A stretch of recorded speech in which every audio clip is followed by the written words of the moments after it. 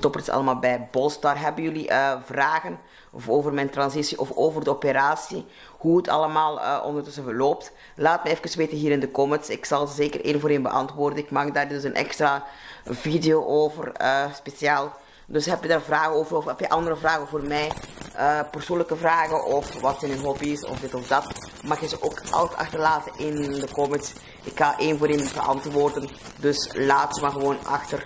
Um, dus laat je maar komen, want ik vind wel belangrijk om jullie uh, vragen goed te kunnen beantwoorden en goed te weten dat jullie allemaal goed op de hoogte zijn. Dus laat het gewoon weten en dan beantwoord ik ze met heel veel plezier. Dus tot de volgende keer.